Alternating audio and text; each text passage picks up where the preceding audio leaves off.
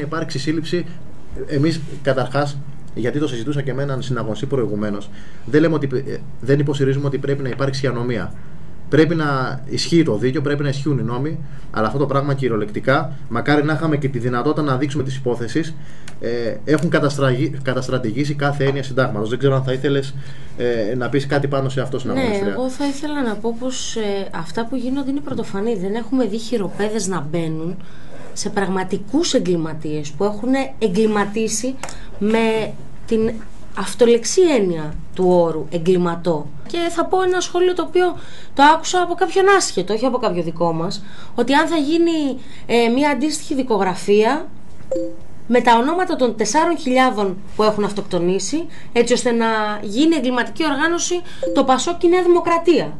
Δεν έχουμε δει απατεώνες να τους περνάνε κατά αυτόν τον τρόπο χειροπέδες, και είδαμε τους συναγωνιστές μας. Και με αφορμή το σχόλιο σου να υπενθυμίσουμε ότι η Χρυσή Αυγή έχει κάνει χρήση των συνταγματικών της δικαιωμάτων και μία μέρα πριν τις συλλήψεις είχε καταθέσει στον Άριο Πάγο ένα φάκελο με υποθέσεις που αφορούν το ΠΑΣΟΚ για μια μεγάλη μαύρη τρύπα στα ταμεία του κόμματος, μιλάμε για πάνω από 150 εκατομμύρια αν θυμάμαι καλά, τα οποία ως διαμαγιάς εξαφανίστηκαν η δικογραφία υπήρχε εδώ, αλλά δεν κινήθηκε οποιαδήποτε διαδικασία. Και είδαμε έναν ολόκληρο κρατικό μηχανισμό πόσο γρήγορα κινητοποιήθηκε όταν ανασυλλάβει 6 συναγωνιστές και άλλους 16 από διάφορες τοπικές, προσάγοντας στην αρχή στην Γαδά, αργότερα στην Ευελπίδων και επιστρέφοντας πάλι στη Γαδά, περιμένοντας ε, μέχρι την Τρίτη το απόγευμα και Τετάρτη το απόγευμα να ολοκληρωθεί η διαδικασία της ανάκρισης, ώστε να αποφανθεί μετά ο ειδικός εφέτης ανακριτής για το τι με λιγενέστε.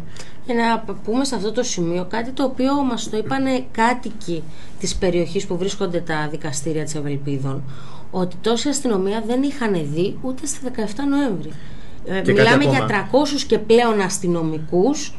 Για αυτό το πράγμα. Και κάτι ακόμα, ε, όσοι παρακολουθήσαμε τις ε, μεταγωγές των μελών της 17 Νοέμβρη από τη Γαδά στα δικόνα να περνάνε από την κεντρική είσοδο του κτηρίου ε, περνώντας τους μπροστά από 200 και πλέον δημοσιογράφους οι οποίοι είχαν συθήσει τα κοράκια περιμένοντας να βγάλουν είδηση και είδαμε τα πρωτοσέλιδα των εφημερίδων τι είδηση βγάλανε. Θα αναφερθούμε στη συνέχεια για το ποιόν της δημοσιογραφίας τους. Α, γι' αυτό προσωπικά εγώ έχω να πω πάρα πολύ. Και ίσως είναι και αυτός ένας λόγος ο οποίος κλήθηκε σήμερα στην εκπομπή για να απαντήσουμε και με αυτόν εδώ τον τρόπο ότι οι κίτρινες φυλάδες, ότι τα πορνοκάναλα δεν είναι ικανά όσους τίτλους και να σκαρφιστούν. Δεν πτωούμαστε από διάφορα κουτσομπολίστικα σχόλια, γιατί έχουμε την αλήθεια με το μέρος μας. Δεν βρέθηκαν ποτέ σε γραφεία της Χρυσής Αυγής τόνοι κυροζήνης και να πούμε ότι ήταν για θέρμανση. Άρα στη Χρυσή Αυγή βρήκανε, πρόσεξε, έναν ηχοκόπτη, ένα χαρτοκόπτη,